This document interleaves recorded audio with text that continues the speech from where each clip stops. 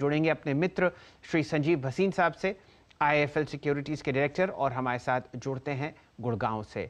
रणनीति आपकी भसीन साहब गुड मॉर्निंग किस हिसाब से आप बाज़ार को देख रहे हैं मंथली एक्सपायरी वाले दिन?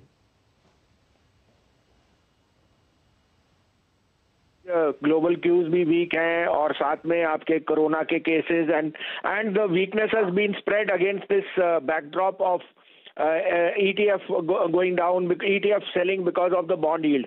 But मैं यहाँ कहना चाहता हूँ आज 25 तारीख है। देखिए मेरा जो कैलेंडर कहता है वो कहता है चार पाँच तारीख से ये बाज़ार बहुत स्ट्रांगली घूम जाएगा। पाँच अप्रैल उसमें पाँच ट्रेडिंग सेशन है। पाँच ट्रेडिंग सेशन के लिए मैं आपको कहता हूँ सिप कीजिए।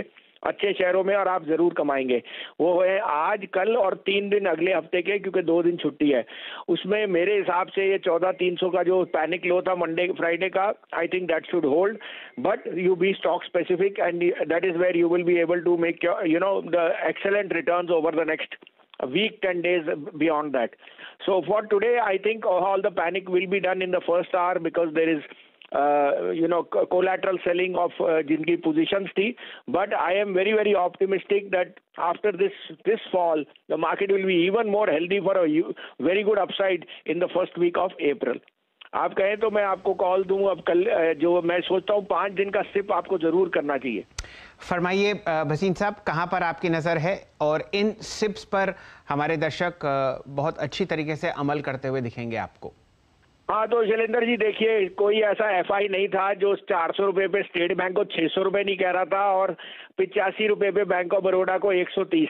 अब वो सब कहीं गए, क्योंकि अब उनके साथ भाव नहीं है। लेकिन आपके साथ भाव है, तीन सौ बावन तिरपन में स्टेट बैंक लीजिए, थ्री फोर्टी फाइव का स्टॉप लॉस रखिए, अब तीन सौ पिचहत्तर और तीन सौ अस्सी का टारगेट। साढ़े सत्तर में बैंक ऑफ़ बड़ौदा लीजिए, साढ़े अड़सठ का स्टॉप लॉस रखिए, अब अस्सी का टारगेट। ये दोनों क्वालिटी स्टॉक्स आपको पोर्टफोलियो में रखिए, अगले पाँच दिन का सिप कीजिए और देखिए, पाँच अप्रैल के बाद आपको क्या रिज़ल्ट दिखता है।